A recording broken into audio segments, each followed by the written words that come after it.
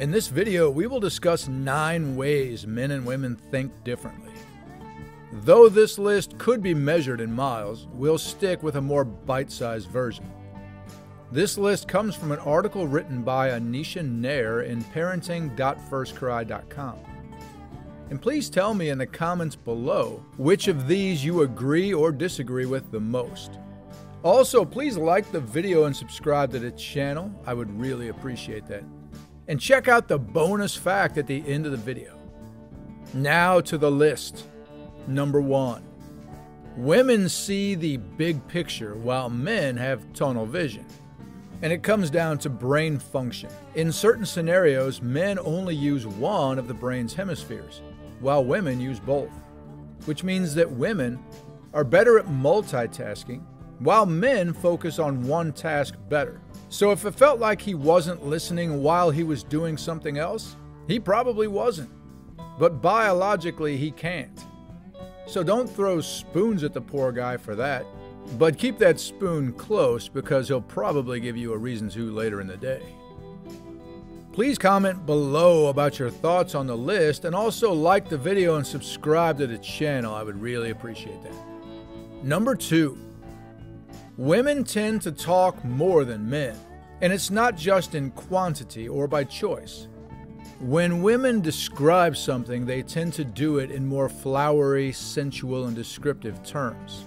When describing a friend's garden, for example, a woman might say something like, Oh, the azaleas were beautiful and the hydrangeas were unbelievably so fragrant, was just beautiful.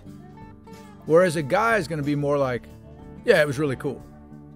And they both mean the same thing. The fact men take a more direct and caveman like approach again comes down to brain function, nothing more than that unless, of course, he's distracted by the game on TV. Number three, women revisit memories more than men do. Women will ruminate over a past slight more than men. And again, it comes down to brain function. It doesn't mean the man doesn't care, but he'll typically say less about something while he is still upset and will move on quicker from it than she will. So if she brings up an argument from four years ago while he can't remember what was for breakfast yesterday, well, that's kind of normal. Number four, women are more tuned into their emotions than men. You see, women have a larger limbic system. That's the part of the brain that controls emotions. So women can pick up on men's emotions even when he is silent. Whereas dudes cannot pick up on hints because they operate on facts and logic. So he isn't a chimp man Z. Well, maybe he is. But it doesn't mean he's uncaring. He just needs things spelled out for him better. Number five, women are also more emotionally empathetic than men. Women brood over another person's issues with empathy, while men switch to problem solving mode. This is what can cause men to try to solve her problems and not listen as well when she really just wants to vent. Mansplaining may be caused by this too. So the next time you vent to your guy about your boss, he's mentally trying to solve the problem for you, which is well intended. And yes, he's probably thinking about sex too. Number six, women have better memory power than men. This is different than number three, which stated that women revisit memories more often.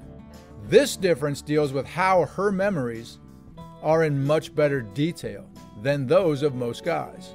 She has much more detailed memories, so she isn't trying to hang on to past details. Like the time she sent him to the store to buy toilet paper, but he came home with donuts and trash bags. Those details just happened to be at her mental doorstep, whereas men would be grasping for such memories. But somehow men never forget the donuts. Number seven, women may need a variety of factors to all be present to get aroused. Things like scents, visuals, sounds, smells. You get it, the list hits the floor. While men need one simple visual you. And they are ready to go. But the ladies watching this video probably knew that already.